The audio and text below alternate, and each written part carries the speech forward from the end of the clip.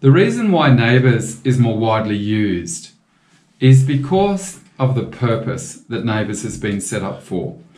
NABERS enables us to compare buildings with buildings. It assists uh, the monitoring of, um, of energy, waste, and water use. Um,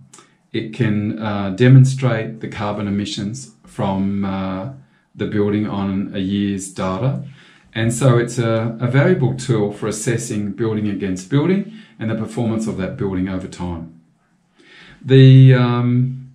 the value of Green Star is the Green Star is, is like a palette upon which you can build. And you can build uh, in many different areas from community through nature through to, to carbon through to energy. The, um, at the moment, uh, I believe the ease of access to create a NABERS rating and the purpose of the NABERS rating tool to compare building stock is why it's quite a central tool at the moment in the industry and particularly with government and leasing of buildings. The, the Green Star system um, does work hand in hand with NABERS and also uh, can work hand in hand with other systems such as wells, such as Passive House, such as Living Building Challenge. We um, we have worked in all of those areas, and um, I feel that the the Green Star uh, system, although quite well well advanced in many respects, is still in the early stages of its potential. The uh, a project we looked at for government in the last um, year or so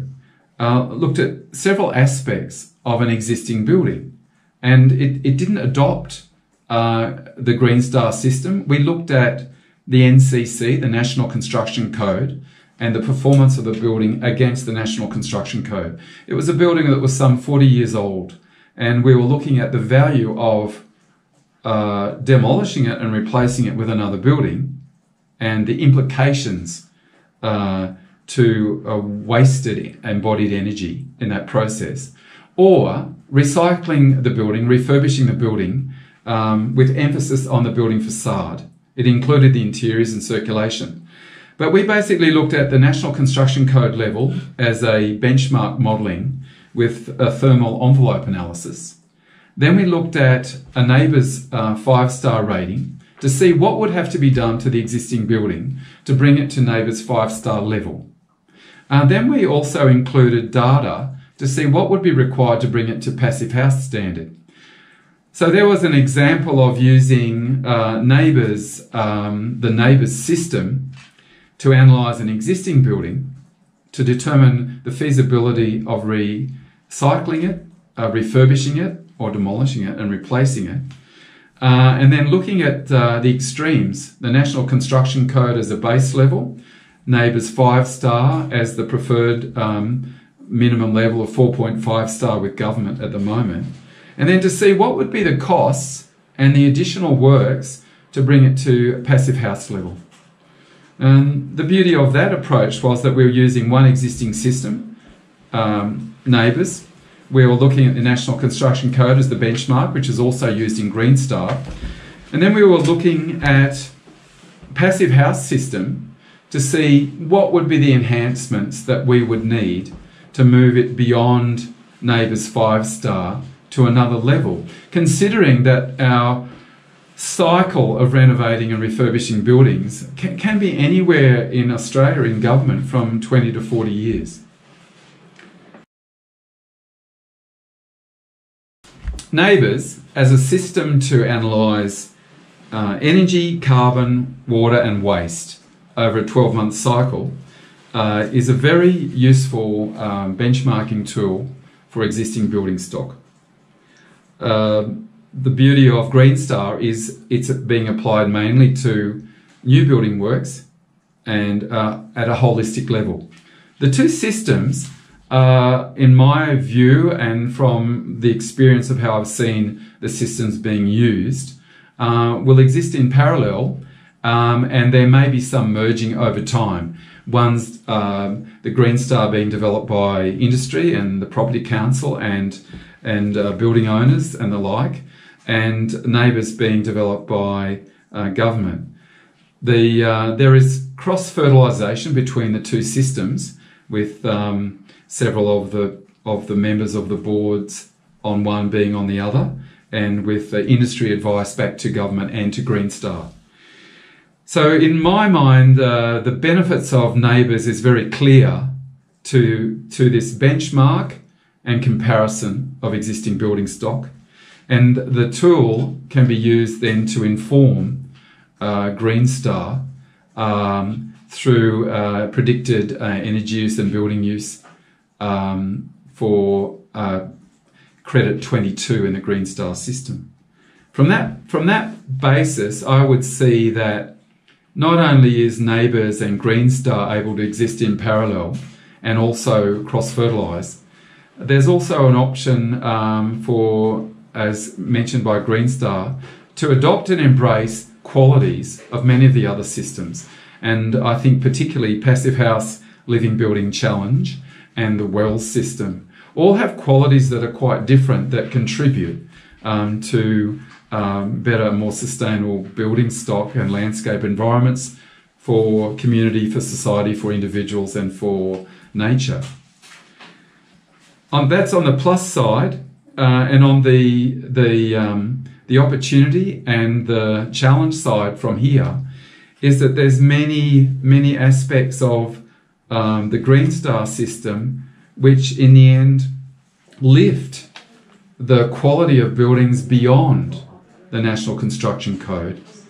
And the question will be is how far are they being lifted? How far do they need to be lifted? And the elements that we need to be, become more accurate with is the full life cycle experience of any resource, of any material, um, from the time it's um, found or extracted or grown until the time it's returned to either a new situation, fully recycled, um, repurposed, or returned to Earth. At the moment, even elements such as um, FSC certified timbers, if they come, from example, from managed plantations that fit the current guidelines of, um, of best practice forestry, they may still be um, not working to support the uh, the needs of the planet and the balance between uh, forest and cleared space and urban space. Uh, recently, I was reviewing um, the different role of um, sustainable practices in urban lifestyles and in village lifestyles. And I came across a peer reviewed data that looked at an American city where 70% of the urban precinct was covered by roads. And uh, I think in analysing NABERS, Green Star, and the other areas of uh, building sustainability systems, and then moving from sustainability um, a sustainability paradigm which was improving on existing building stock and moving towards a regenerative um, creation and habitat paradigm, it, it, it starts to look at when we need to build or whether we need to build at all or whether there's opportunity to look at the existing uh, building uh, stock and urban and semi-urban, suburban and rural and village infrastructure to see how we might reconsider the, the needs of society and nature and our response, whether it's a building or whether it's a changed approach to precinct habitat and um, movement. Now this this extends out NABERS and Green Star from considering a building and, and a landscape environment to the urban context. Why I bring that up is because before COVID, I was involved in a discussion with architects and town planners. And the discussion hinged around the most effective way to deal with an urban context to enable people to move from, uh, let's say, from home to childcare to school to work uh, to retail areas to nature areas and then to um, aged care areas and to facilities and services areas from sport to recreation to health was to have a very uh, powerful and um, uh, well supported, well presented public transport system. And uh, until this was actually in March of 2020, this discussion, prior to COVID affecting Australia. And within a few weeks, um, the very busy peak hour traffic of the morning and afternoon had diminished. Um, the skies had started to clear. I was told more um, during the latter part of last year that the water in uh, Venice had cleared so you could see the fish, and uh, many other parts of um, the planet had started to clear from uh, air pollution, uh, from from industry and manufacturing to some extent, and particularly from our public transport system and urban transport networks. I think the point that's worth making is that given that we've got um, now an opportunity to reconsider um, the facilities that are required to support uh, a mobile population, as has been the case, particularly for the last 100 years, and then the impact of COVID on our mobility, uh, it, it's shown that there is a flexibility available to us in how we might set up um, the various stages of life and um, the differentiation between um, public and private space, home space and workspace, and the dynamic between all the other aspects of life and needs throughout from birth to death. The um, the best situations to come out of reconsidering how we accommodate our needs in buildings and landscape was shown that the, from the view of centralized ability to live, work, and be at home in a situation that requires a minimum of public transport enables engagement with um, preschoolers, children, elderly, and uh, local resources such as community gardens, community workplaces. And this would be um, not only require a repurposing of some of the building and landscape stock that exists in all communities on the planet, but also enables a reconsidering of what we need to build and why we need to build it when it's demonstrated that uh, refurbishing and recycling building stock is far more effective at diminishing or minimizing embodied energy. And um, the, the aim of creating a carbon neutral environment and, and not only sustaining uh, our community and lifestyle, but also uh, sustaining nature and um, the various forces that, that operate on the planet. Um, winds, storms, fires, and uh, natural bio, biome, biomes that um, create life on the planet. I, th- I feel that there's an opportunity to reconsider how we build um, and why we build and where we build and how we repurpose building fabric to enable the uh, minimizing of mobility that's unnecessary. And I, I feel that uh, with with the with COVID requiring us to change our habits, our mobility habits, what it's done is enabled the consciousness or awareness of us all to reconsider just how we function. And so, what is very much a modern paradigm, uh, the mobility of moving from work to to the office,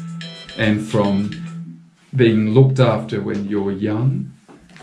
being looked after when you're young, being looked after when you're elderly, all in remote locations, uh, having a building where you sleep and live on the weekends and at morning and night, and having a building where you um, go to work, and then having a transport mechanism, as I said, that can take and create up to 70% of an urban area land cover in roads. Uh, is not a balanced or sustainable approach. Yet it is the the the approach that's very much uh, of modern times,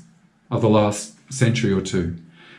COVID and like, and the changing um, nature of the planet and the stresses that's been put on urban development as our population has increased um, has been shown up as being quite stressed under COVID in the way that much of the planet recovered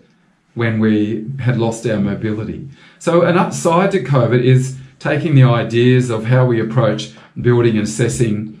the um, carbon neutral nature of buildings and design and how we integrate with nature and community and society, and taking it a step further to include our whole approach to how we set up and create an urban development. And it may be that uh, return to micro villages uh, across the planet in a way as a response to the limitations that COVID created would help deal with not only the issue of um, a similar pandemic should they occur again or continue in the current form, uh, but also enable a um, restoring and regenerating of the planet uh, in a different way than we might have envisaged uh, by repurposing building stock and by restructuring the way our community and society interacts and connects with each other through through a, a mobility that's become the norm, but has been demonstrated to be a very expensive component um, outside the building stock that we are trying to work with.